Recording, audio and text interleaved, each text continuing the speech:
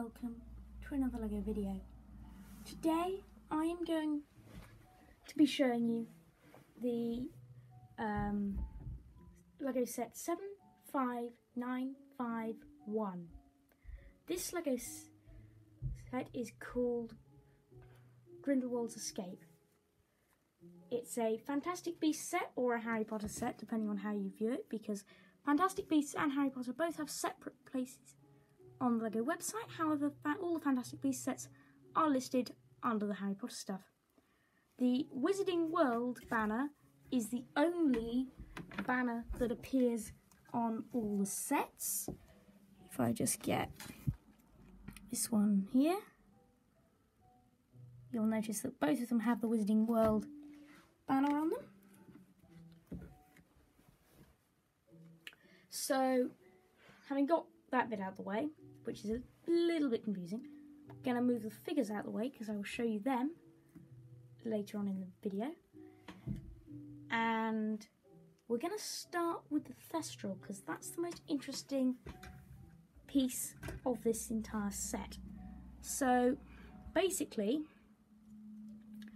the Thestral has three new pieces and about six other pieces that have been around for an awfully long time.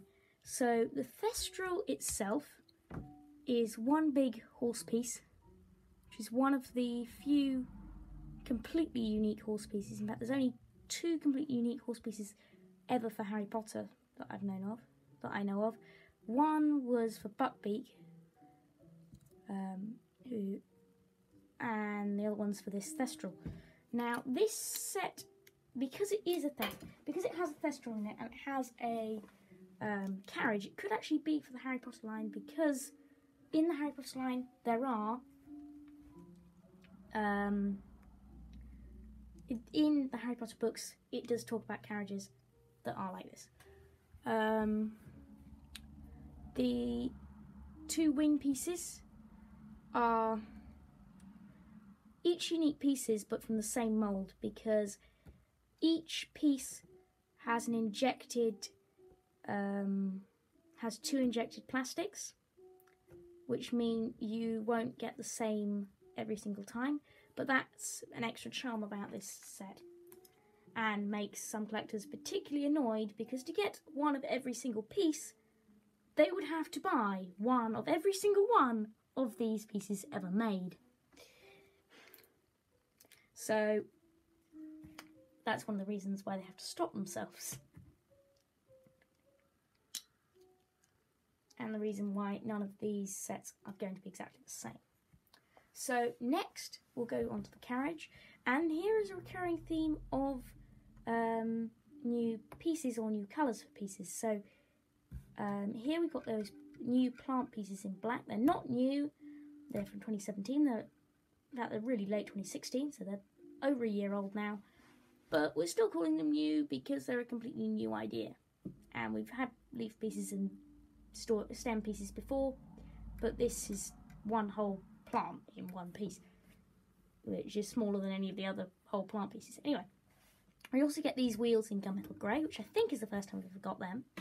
So this is actually the only set we can get these in black and these in gunmetal grey and this in gunmetal grey. Um, the actual carriage itself um, bears resemblance to all Lego carriages, which kind of makes sense.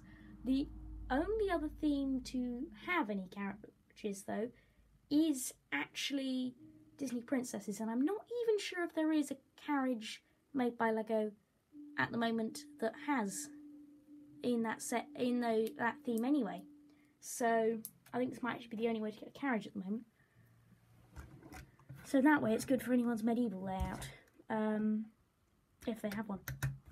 Um, this is just ordinary train doors in black without the window pieces. And this will hinge because it's just a hinge. Um, in Inside it's got red seating and a little place to put, I don't know, drinks. And this bit, the only, this is actually the only nick to the set is the fact it does have this in red. But to be honest, that doesn't really matter because you can't see it unless you take it off. The back, I'm guessing that's for luggage, which is what these would normally be. And the coachman or the coach driver would sit here And because this moves very easily, it's, partic- it's particularly easy for play because you can just clip up your Thestral and you're away to go. And you can literally, you can just pull the whole thing from the Thestral itself. So now we've got the actual build out the way, let's go on to the figures. Now, I can never remember who that's called. It does say on the box, but I haven't got the box with me. I've only got the instructions for reference. So, I have, obviously I got it from a box, but I didn't bring them up to my filming area, which isn't in my Lego room. So, this particular, we're going to start with, she's the American Minister for Magic, basically. Uh, I'm going to go for the Grindelwald second because he's particularly interesting. So, we'll go back to him later.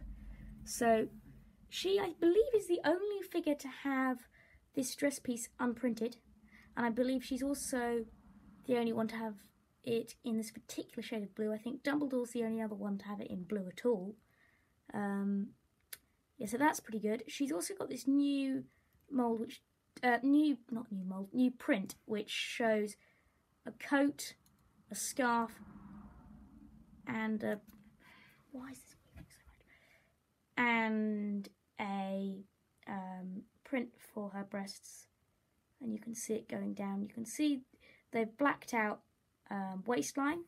She's also the only figure to have this hat, um, fast food hat, this hat that was designed for fast food uh, minifigures working in fast food restaurants uh, in sand blue, and that really, really works. It looks very posh, which is what it's meant to.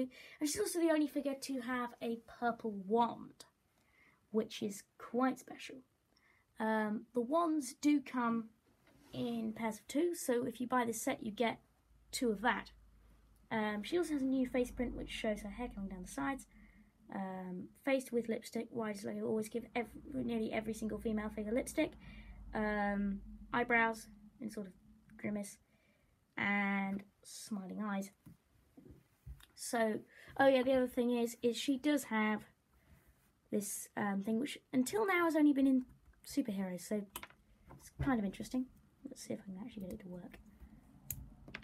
There. So yeah, that's pretty good. Um, that's I assume to show her casting a spell. Now this Grindelwald, there's actually there's only um, one variant of her. There are two variants of this Grindelwald, and this particular Grindelwald isn't all that expensive. I think he's five quid, whereas the only other Grindelwald ever is 25 and you can still get him. So that's a very good figure to have for investment. I'd say by the time they stop making that figure, he'll be 80. He'll be at least 80 quid. So almost as expensive as Bellatrix Lestrange, which is one of the which is the third most expensive Lego minifigure for Harry Potter. Not the third most expensive Lego minifigure ever, no way. But the third most expensive Harry Potter figure. Figure made for the Harry Potter line. Anyway, so I'll show you that in another video. But I just thought I'd... Actually, I will show you something else, which is... His robes are really, really good. Um, whereas his... They'd look better on Lupin, to be honest. They're incredibly badly done. They look really, really tatty. It's a little bit like they had two variants for Lupin and they decided, well, we prefer this variant of Lupin because it looks less dated to the 20s, but who should we put it on? Because we spent all this time thinking, oh yeah, we need to make um, Percival Graves Grindelwald um, exclusive, so we should, to the Fantastic Beasts series, so we should make a different, so we've got to make a different um, torso print. Um, so looks a bit like they've just done that. Obviously, it's probably not what they've done, but that is the kind of air this gives. Um, I think he might have a secondary face print actually. Yes, he does. So he has a bit more of an open face on the back. He does actually have almost exactly the same back print that the other Percival Graves has. Sorry, the other Grindelwald has. Um, but the other Grindelwald has a blue scarf. Um, and then on the other side has a much more vacant expression. But yeah, he is a good figure, and he's got leg printing, unlike um, the American uh, Minister of Magic. And we might as well just launch this one anyway. Um, yes, yeah, so that's set 75951, Grindelwald's Escape. Thank you for watching. This has been Mouse Bricks. Goodbye.